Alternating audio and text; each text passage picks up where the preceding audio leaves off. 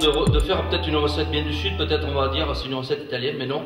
C'est une tarte bien lot-et-garonnaise avec des tomates de Marmande, du cresson d'Aquitaine, une tombe de vache, je suis au pays du fromage donc je vais petit, hein, une, un fromage de vache, façon un petit peu raclette, c'est un fromage qui est cuit, donc euh, c'est aussi une tombe d'Aquitaine, je suis désolé, mais le, le, nom c'est une vraie tombe d'Aquitaine. Donc on va intercaler des tomates, pas de mozzarella, on va prendre de la tombe d'Aquitaine, et dessous on va agrémenter, on va faire une crème pâtissière, non pas sucrée, zéro sucre, une crème pâtissière, on supprime complètement le sucre, et une crème pâtissière de cresson. Et je vais vous montrer le résultat final. Vous prenez votre crème pâtissière, votre recette traditionnelle, vous enlevez complètement le sucre, vous fouettez les jaunes d'œufs, vous mettez la farine de manière à ce que l'appareil soit bien homogène, vous, faites bouillir votre lait, vous le versez dessus, et ensuite vous refaites porter à ébullition donc cette crème pâtissière tout à fait classique. Vous attendez qu'elle refroidisse, vous la remuez de temps en temps de manière à, conserver l'homogénéité. Et quand elle est tiède, on hache du cresson au couteau, sans trop l'abîmer parce qu'il noircit très vite, et on le met dans un petit robot à mixer avec la crème. Vous voyez, c'est un verre très pur, vraiment très, très, très vert de cresson. Il n'a pas été oxydé. S'il était oxydé, justement, c'est pour ça que je vous disais de ne pas trop lâcher, il serait noir. Donc l'intérêt, comme disait Vincent tout à l'heure, quand on l'a goûté, je vous promets, ça a goût de wasabi.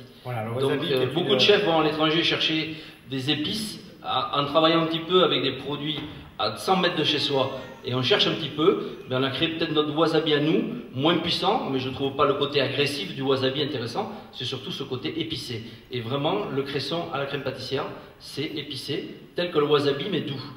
Donc on va étaler, on va prendre un feuilletage, tout simplement, qu'on va cuire entre deux plaques, vous voyez, très fin, qu'on cuit entre deux plaques à blanc, comme on appelle, pas trop trop cuit, de manière à le conserver déjà bien ferme. On va déposer dessus la crème pâtissière.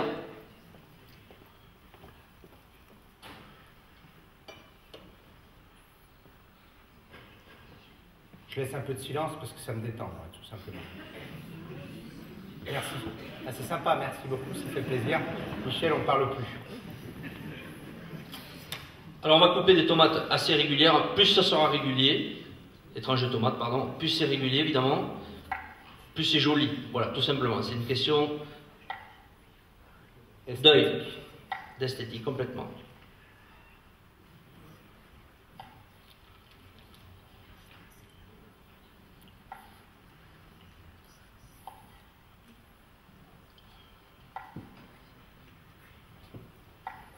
Rassurez-vous, hein, Michel a pris la précaution d'en cuire une dizaine à l'avance pour pouvoir vous faire déguster et que ceux qui sont en haut se rassurent, ce sont ceux qui vont être les premiers servis ce soir.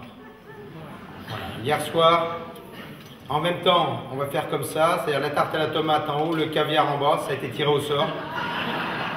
Il se réjouissait, mais ça a été tiré au sort il y a, moins d'une demi-heure, sachant qu'on a à peu près 20 kg de tomates et 50 grammes de caviar, donc vous comprendrez aisément qu'il a fallu s'organiser.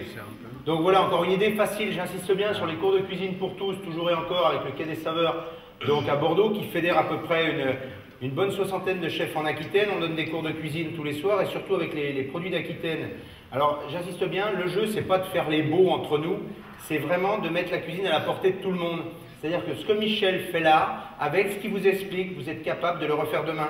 Vous achetez de la pâte feuilletée toute faite, à partir de là, tout est plié. Crème pâtissière au cresson, la tome, si vous n'avez pas de tome, eh bien, mettez, euh, je ne sais pas moi, de, de l'osso gratis, ça marche très bien, c'est bon en plus. Après, vous avez, vous avez la tomate, vous avez dessus son petit, euh, son petit, c'est comment tu appelé ton truc au noix là, Michel? On met dessus Je, je, n'en ai pas parlé. C'est un beurre de noix de, Périgord. Voilà, hein, c'est un genre de, de, de, cerveau de doigt mixé en fait avec un beurre, hein, c'est à peu près ça. Ça fait beurre, beurre chapelure, beurre chapelure, poudre de noix et noix concassée. Voilà ça, ça ferait comme un genre de, de, de, de, crumble, un truc comme ça, une galette, une pâte, vous allez voir, qui pose dessus. Hein, c'est très très joli. Alors tout ça c'est facile à réaliser, ça fait une super entrée, servi avec le petit mesclin. Après on peut varier les plaisirs, on peut intercaler pourquoi pas des pimientos del piquillos chez vous, hein, pour, pour, pour, accélérer avec le rouge. On peut mettre de l'osso mais surtout garder ce côté cresson là, Souvent, pas mal de chefs s'amusent aujourd'hui à faire des pestos ou des pistous de roquettes. Vous savez que c'est une espèce de, salade assez poivrée, assez punch. ben, avec le cresson, on fait exactement la même chose. Et c'est super sympa parce que tout à l'heure, quand on a goûté, ben, on ne s'est même pas regardé, on a, on a, pensé au wasabi. Ça avait, je vous dis, ce punch, cette, cette, fougue, mais en même temps, il n'y avait pas, la, ce que dit Michel, cette puissance qui, à un moment, devient désagréable, comme dans la moutarde. D'ailleurs, quand ça chauffe et que ça brûle, je vois pas où est le plaisir. C'est ce qu'on retrouve souvent dans le piment d'Espelette, et là, ils peuvent être super fiers. C'est à la fois la puissance, la chauffe du Pays Basque, mais en même temps, ça se consomme, c'est facile à manger et c'est très parfumé. Et ça, c'est très très agréable. Voilà Michel, tu termines ta recette tranquille avec ton beurre de Voilà, donc on alterne, c'est très facile, des tomates, des tranches de fromage, le, la crème pâtissière de Cresson dessous. Et donc à part, j'ai préparé un beurre, donc vous faites ramollir un beurre pommade dans votre maison pour 200 g de beurre à peu près. On rajoute deux cuillères à soupe de chapelure de pain rassis, c'est mieux, ça tient beaucoup mieux. De la poudre de noix, deux cuillères à soupe également. Et ensuite, on concasse des cerneaux de noix avec un couteau de manière à avoir des petits bouts qu'on retrouvera par la suite pour faire ce côté un petit peu crumble, comme l'a dit Vincent. Donc on l'étale ensuite, cette pâte qu'on assaisonne, c'est le poivre, on l'étale sur une plaque à plat, vous voyez, entre deux papiers, un rouleau à pâtisserie, de manière à faire une pâte homogène et plate. Et tout simplement, on va coiffer donc la tartelette avec cette préparation de beurre. Donc qu'est-ce qui va se passer? On a le cresson dessous qui est très poivré. Le but c'était de relever le goût de la tomate, non pas lui enlever son goût, de le relever. Donc on a le cresson dessous qui va relever parce que le cresson est attaché au poivre, on va dire, et au, côté piment et poivre. Donc on va relever le goût de la tomate et du fromage par-dessous. Et par-dessus, on va le couvrir avec ce côté croquant de noix. Et pour terminer, donc, ce que Vincent nous expliquait tout à l'heure, c'est une nouveauté, même une priorité. Ils les ont cueillis ce matin, c'est la première fois. C'est un mélange de salades, trois producteurs. L'un faisait de la moutarde rouge, vous allez voir, c'est une petite salade rouge. L'autre faisait du tachai rouge. Et, lui, il avait des pousses de cresson, des petites pousses de cresson.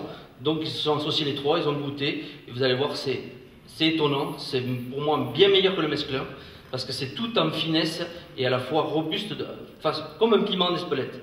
Voilà, donc ça relève tous les plats, même, on va dire un peu d'été, les grillades, tout simplement, c'est une salade qui se mange vraiment comme un mesclun et qui relève vraiment le plat. Tous ceux qui pourront le goûter, je vous assure, c'est vraiment le mariage parfait de la tomate, du fromage, des noix, parce que le noix a un rôle important, ce côté un petit peu, euh, avec la tomate acidulée, la noix a un rôle important, et cette salade. Voilà, c'est tout naturel, c'est tout à côté de chez soi, c'est le message que je voulais vous apporter. Les cuisiniers vont très loin chercher des recettes, moi, j'essaye de creuser à côté de chez moi et je découvre chaque année, puisque ça fait trois ans que je suis en Lot-et-Garonne, chaque année je trouve quelque chose de différent et malheureusement, beaucoup de cuisiniers ne euh, le travaillent pas et c'est dommage. Ces gens-là, je suis le premier cuisinier dans le Lot-et-Garonne à travailler du cresson régulièrement avec eux et je trouve ça dommage parce que c'est des super produits, il y a plein de choses à faire. Voilà, donc on s'amuse et on découvre des belles choses même en étant à côté de chez soi. Donc pour terminer la recette, on prend ce beurre, qui a ramolli dans le trajet, vous allez me pardonner, mais sinon, on le remet au frigo, bien sûr. Je ne vous l'ai pas dit, on remet au frigo de manière à ce qu'il refige. Et on va coiffer donc cette tarte. Alors n'ayez peur, ce n'est pas grave, puisque le beurre, qu'est-ce qui va se passer? Va couler le long de la tarte. Et Michel, et voilà, quand ça sort du four, tout simplement. Voilà, c'est le trucage en live. Voilà, parce qu'on est en train de vous préparer quelques petites portions. Je vais demander ton prénom, excuse-moi, j'ai tout oublié. Pardon? Aurélie? D'aller nous chercher dans le public 3-4 personnes dans un premier temps, qui vont descendre avec nous. Et puis après, Aurélie va venir parmi vous, alors tout à fait en haut, Aurélie, ce soir. Et on va vous faire déguster cette chose-là. Michel vous assaisonne un petit peu de mesclin lotte garonnais. On va faire simple, on est entre nous.